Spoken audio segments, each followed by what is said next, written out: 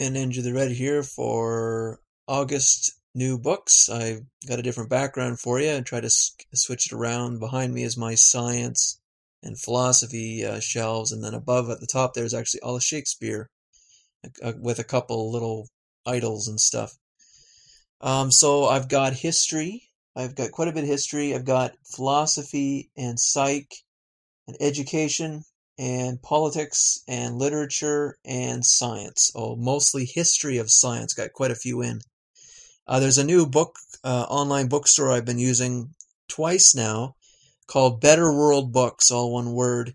And um, pretty good. I, I actually bought a lot of their stuff off of Abe Books. Uh, they have an account on there, and I found that they have their own website and they have pretty good prices. They they're just like the book depository. They don't charge any shipping. So, and there was a there's a deal on right now, six books for uh, 35 bucks. So it's 550 a book, so that's great. So I, I got a lot of history of science from them. So anyways, I'll get to those, but I'm going to start with history, and I got them all in order here. Here is Edith Hamilton's The Roman Way.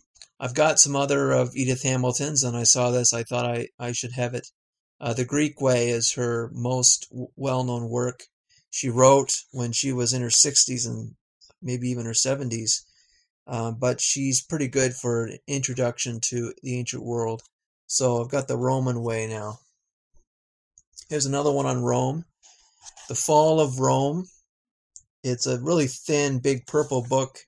Um, can it be explained? So uh, this is an anthology uh, by a whole bunch of authors with different ideas of the reasons Rome fell. And if you've taken a history course or at all heard of Rome, you probably know that it's still hotly debated as to the conditions of Rome and why it fell. And usually people cite many. There, uh, I don't think anyone would say that Rome fell for one reason.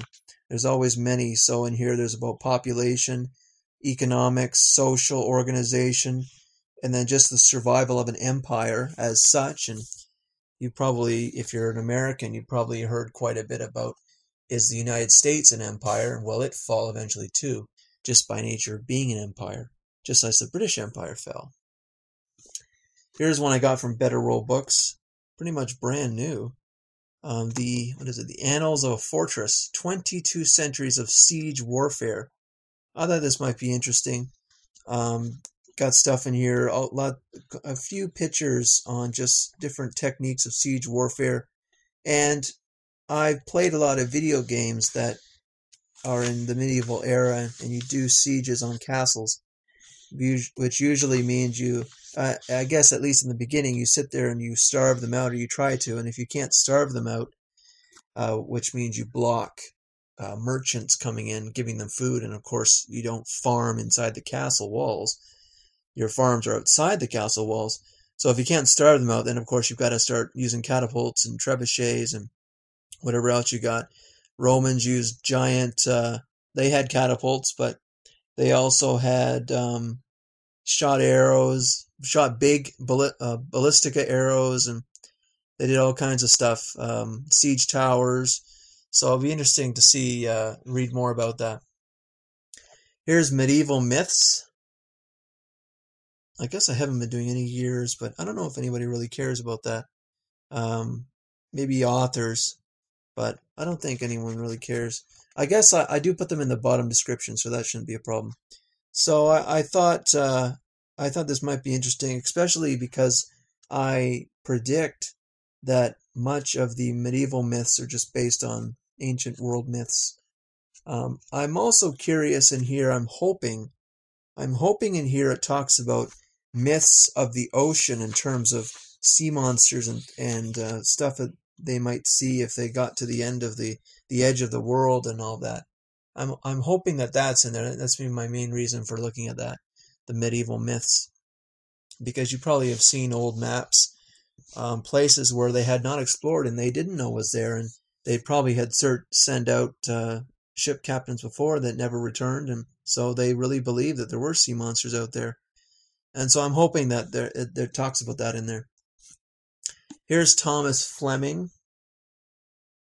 on Washington. It's called The Perils of Peace America's Survival Struggle for Survival After Yorktown. So this is supposed to be about, I, th- I think it's about Washington.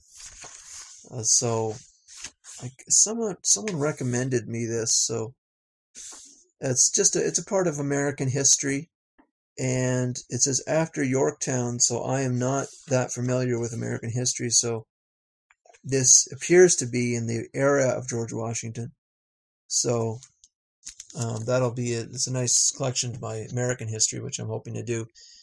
Um, eventually, I'm I'm still uh, I'm still kind of editing and fussing over my ancient civilizations video I made because the audio is all screwed up. Um, it's really annoying, but I I still am interested and want to continue on with reading into Sumeria and all that. So eventually I get to American history. It's just going to take such a long time. Here's another piece for American history.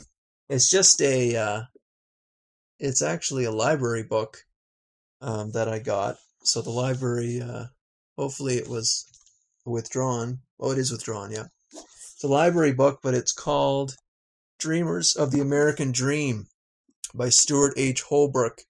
supposed to be another good American history book. There's not much to look at, really. It's it's just a library book.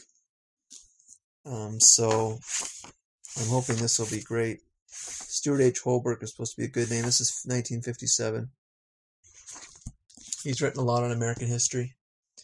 Okay, carrying on with American history is this big.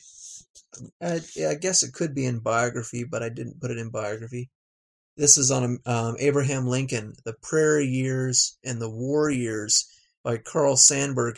The reason why I picked this up, which was kind of an odd find actually, is, again, this isn't much to look at because it's like a, actually, it's not a library book this time, but it's just a red cover with a little bit of Abraham Lincoln um, on the cover.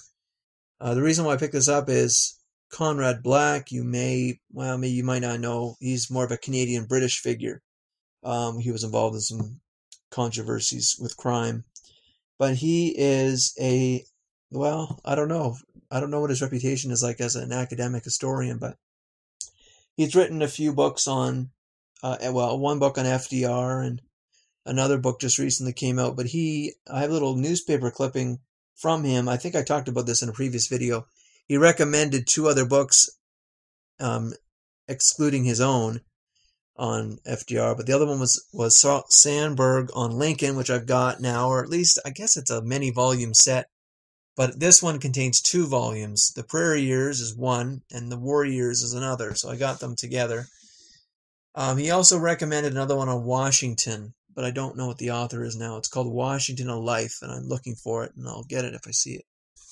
A couple books on the French Revolution that I got for free. Here is The Coming of the French Revolution. This is a little little book.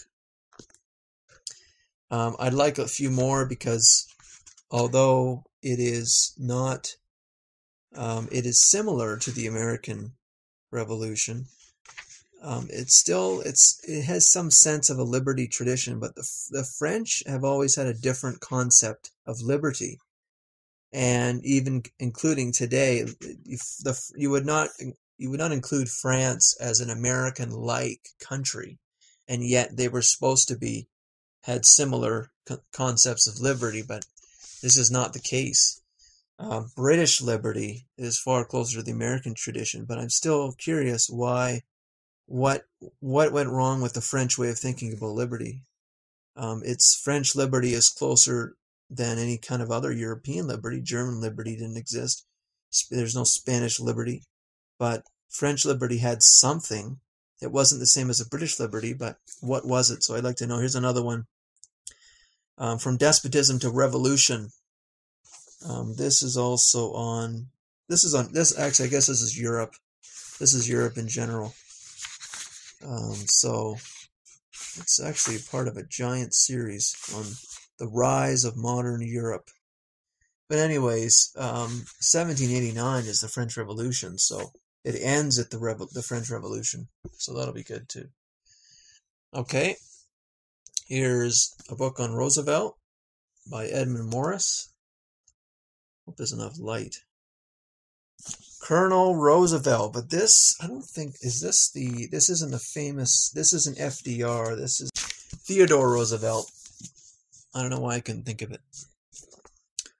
Here's a John Keegan book I thought would be good on war. This is The Face of Battle, a study of Agincourt, Waterloo, and the Somme. Um, I read actually a little bit of this. I was walking with it and I was reading a bit of it after I left the bookstore. And he comes right out and says that he's never been in a war. and yet he um, he is a well well I don't know what well known, but he is one of the names in discussing and documenting and and uh, um, just writing about warfare. So there's some pictures in here. I don't know if you're gonna be able to see them very well though. But anyways. Here's a Victor David David Hanson book, also on war. It's called Ripples of Battle. Ripples of Battle. So Victor David Hanson is a pretty amazing war historian, military historian, and also ancient historian. And you should check out his videos on YouTube. He, he like his speeches. He has his speeches on YouTube, and he's got some pretty awesome ones. He's got one on World War II, which is really good. He's got another one on democracy. That the question of democracy is about liberty versus equality. And this discussion has been happening since Athens versus Sparta, ancient Greece. It's just amazing how old these discussions are. We think that we're in the. It, it's perhaps best to say that in the modern times we have modern technology, but our ideas of social organization are not as well advanced. It's not that different. The difference between social organization in ancient times to today and the difference between technology of ancient times and today is a huge difference. But, anyways, the subtitle of this book is How Wars of the Past Shall Determine How We Fight, How We Live, and How We Think. And um, I think he's writing about, or maybe he already did, on the Iraq War. He mentions that the tactics of the Iraq War and the Vietnam War were not were the reason why they they failed versus World War II tactics. So, anyways, he's a pretty he's a pretty good author to, to check out. And the last one in history, I think, Paul Johnson is a pretty good author too. His book on intellectuals I have, and I think I have something else by him too, but I can't think of it now. Here's Modern Times. The world from the 20s to the ni- to the 90s of course 1920 to 1990 revised edition. This is nice nice big one. Uh, i'm not sure how this is going to go because you just wonder how much can we really say about the 1990s when we're only like 20 years away? It's hard to put it in context but i thought it was still worth having to see just how he i think a, another great part of reading history is you can see how the authors put it all in context. So, how did the 20s lead to the 30s, lead to the 40s, lead to the 50s? And what kind of general areas do they define based on those times and what happens in them? That's the main reason I want to read it, not for the, the details of the 90s, because I lived in the 90s. I lived in half the 80s. So I'm not so worried about that. I'm more worried about how he frames it all and how we make sense of it all as compared with the previous decades. Okay, that's it for uh, history. Next will be literature.